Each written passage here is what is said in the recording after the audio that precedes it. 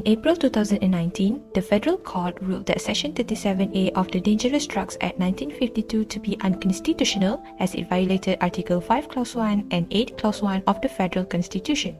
The decision was based on one of the landmark ruling cases by Tan Sri Richard Malanjum as the Chief Justice of Malaysia at that time, which was known as the double presumption case. So what happened in this case? There were two foreigners involved, in which both were charged and convicted by two different trials for the offence of drug trafficking under Section 39B of the DDA and punishable by death penalty. Both cases appealed on the same ground, which was on the constitutional validity of Section 37A of the DDA with reference to Article 5 and 8 of the Federal Constitution, and both appeals were heard together in the same trial. Let's have a look at the provisions involved in this case.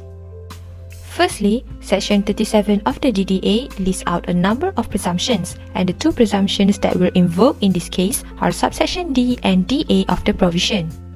Section 37 subsection D stipulates that any person who is found to have had in his custody or under his control anything whatsoever containing any dangerous drug shall, until the contrary is proved, be deemed to have been in possession of such drug and shall, until the contrary is proved, be deemed to have known the nature of such drug. Meanwhile, Section 37 subsection DA provides a list of drugs with specific weight for each, and any person who is found in possession of listed drugs exceeding the threshold amount shall be presumed until the contrary is proved to be trafficking in the said drug.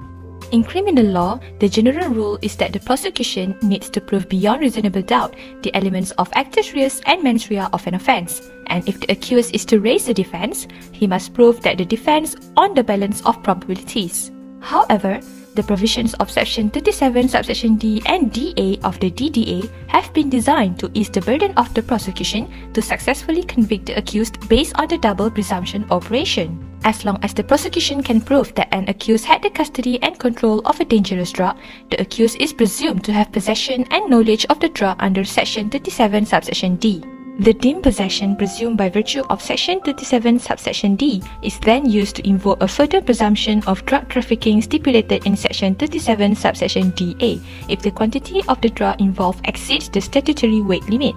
Thus, the requirements for a charge of drug trafficking for the prosecution to establish a prima facie case is to prove custody and control on the part of the accused and the weight of the drug.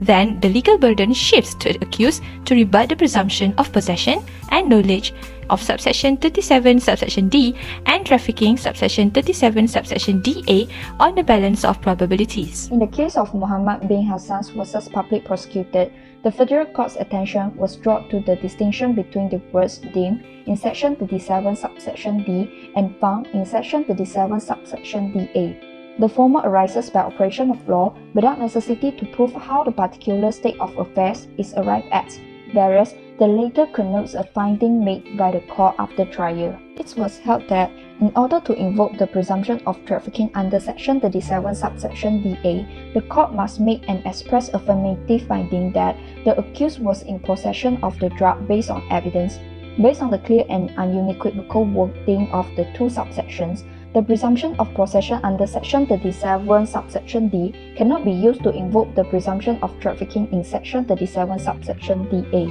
Furthermore, His Lordship Chong Siew Fai, the Chief Judge of Sabah and Sarawak, in delivering the unanimous judgment confirmed that it would be unduly harsh and oppressive to construe the automatic application of presumption upon presumption as contended by the prosecution. Hence, after the case was decided, the practice of prosecution was to choose either to invoke the presumption under Section 37 subsection B or the presumption under Section 37 subsection DA. The presumption of drug trafficking under Section 37 subsection DA can only be invoked by affirmative evidence of possession and no longer by the convenient use of the presumption of possession under Section 37 subsection D. Following the decision in Muhammad bin Hassan versus public prosecutor, Parliament introduced Section 37A without any amendment to any of the wordings in the presumption provisions. The purpose of Section 37A is to permit the presumption in Section 37 subsection D to be applied together with the presumption in Section 37 subsection DA